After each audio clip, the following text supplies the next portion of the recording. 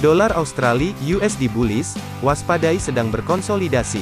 Secara umum, bias harian pergerakan dolar Australia USD terlihat berada dalam kondisi bullish dan jika diperhatikan harga sedang berkonsolidasi di atas area resistan.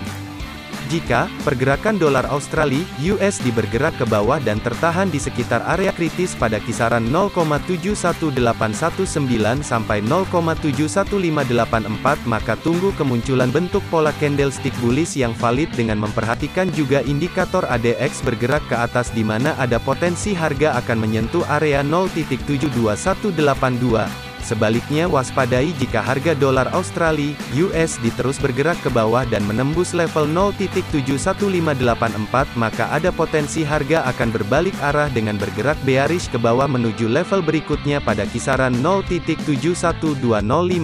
Sekian analisa forex untuk tanggal 23 Desember tahun 2021.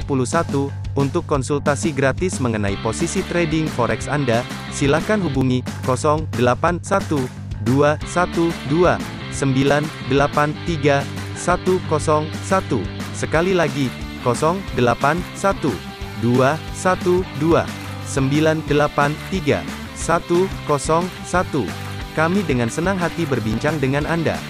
Untuk mendapatkan analisa forex setiap hari, silakan subscribe ke channel ini.